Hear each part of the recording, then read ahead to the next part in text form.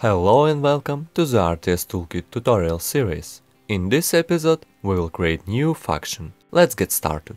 First of all, go to the RTS core BP folder and open E faction enumeration. Here you can see example humans and horde factions and also neutral faction. Trees and gold mines have their faction variable set to neutral. Let's add new enum member. I'll add new elves faction. Now go to the RTS characters slash blueprints and open base player character blueprint. Here you can find event called setup relationships multicast. Also in the variables under the combat category you can find a relationships map where every faction has player's relationship type like friend or enemy. Let's add a new member to the relationships map. We will use simple logic. Elves is a friend if player's faction is elves, an enemy if player faction is something different. After that, let's open RTS player controller blueprint and add some nodes to be able to change faction for test purposes. Also let's open our map and add elves unit. I'll just copy this warrior and change its faction. Now we can test it. As you can see, our new unit is enemy for either Horde and humans. Now I wanna show you how to create unique unit for our new faction. Note that the example worker unit is faction unique, so we have here human worker and horde worker. Let's create new child of the base RTS unit and call it elf worker. Here you should specify mesh, I'll use warriors 1, anim class, faction and unit's ID.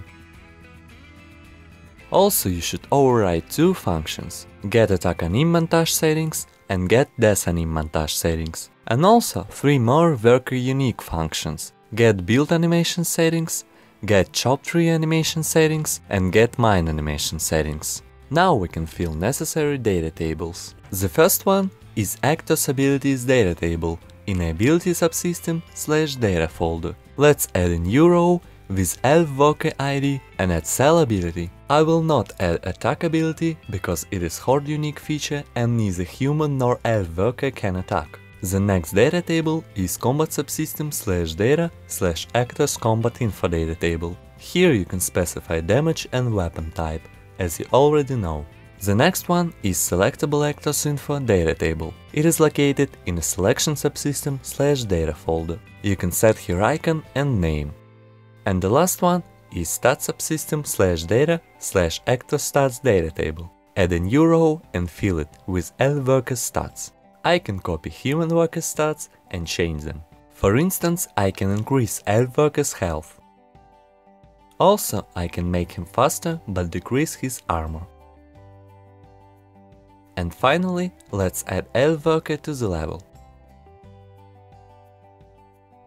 As you can see, elf worker can move quite fast, and he can't attack enemy cause he hasn't attack ability. Now I wanna add an ability to create a townhouse. Townhouse is a faction unit building, so firstly we should create Elven Townhouse. Let's create building mesh then. Go to the building subsystem slash blueprints folder and create a new child of the building mesh blueprint. Add some meshes to the meshes scene root.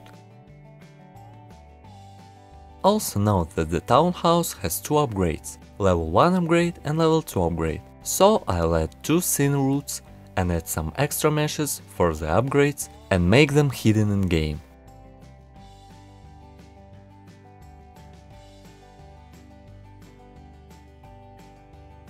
Let's overwrite on end upgrade process event and make these extra meshes visible in game again.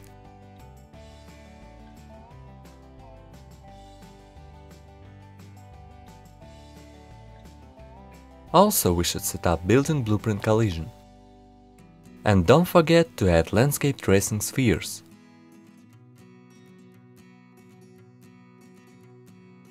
Now go to the building subsystem slash blueprints slash buildings slash global and open townhouse blueprint. I can set mesh actor class to Elven townhouse mesh and we can see that the mesh doesn't fit properly. So I want to move it a little bit.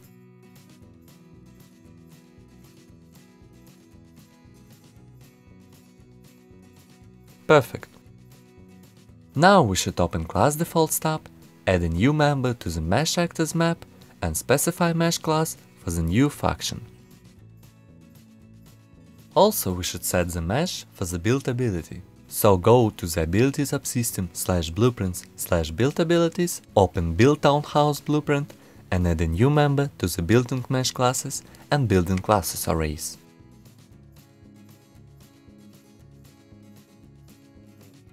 Finally, let's open Actors Abilities data table and add two abilities to the Elf worker, Repair Building and Build Townhouse. Let's test it. We can build a townhouse and it has Elven Mesh. We can also successfully upgrade it, but if we try to recruit a worker, we will see that it isn't Elf worker. To fix it, we should go to the ability subsystem slash blueprints slash building processes slash recruiting folder, open recruit worker ability, add new member to the recruiting class map and specify that we want to recruit an elf worker if the player's faction is elves. Also do the same with the recruit warrior ability.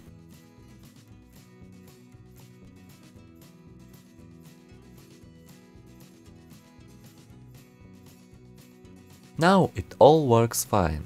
In the next episode, we will work with the resources and log subsystems. See you next time!